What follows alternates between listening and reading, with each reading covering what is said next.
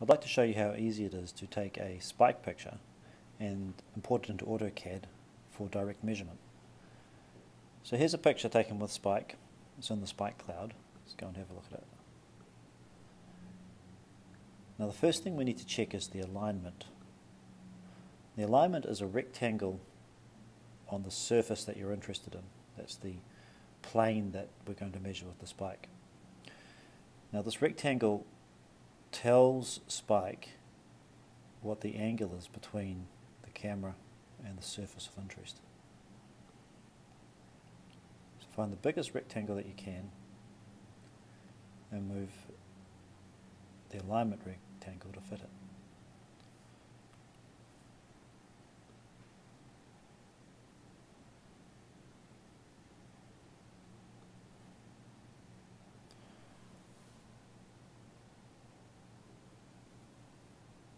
So there's the alignment rectangle.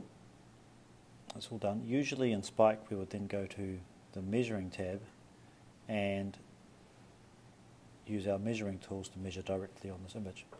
But today we're going to go and take this file, put it into AutoCAD.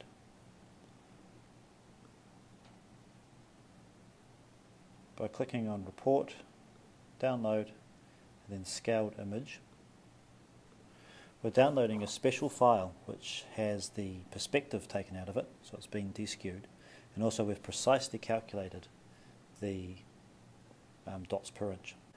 So to bring the image into the AutoCAD environment, we just treat it like a normal raster image. Insert, select the file that we're after,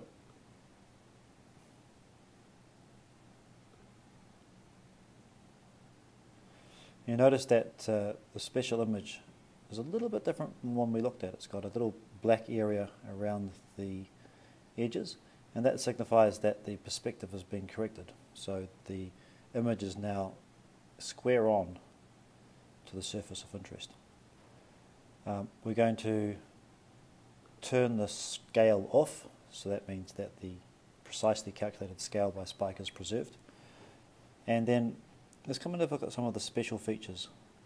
The resolution has been calculated by Spike to be 3 dots per inch. So every pixel in the image, or every 3 pixels in the image represents 1 inch of real life. Uh, the units have been set in AutoCAD to inches.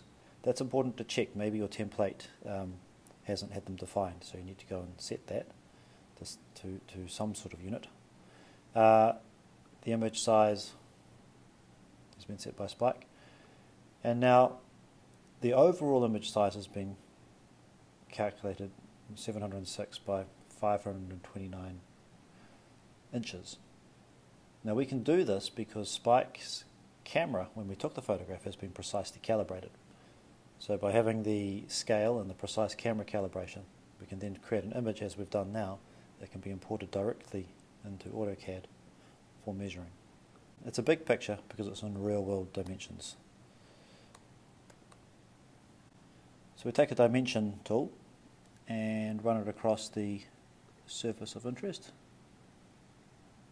there to there, and we can measure a dimension directly of the photograph, 387 inches. So there you go. That's uh, how easy it is to take a spike file and import it directly for measurement in AutoCAD. Thanks.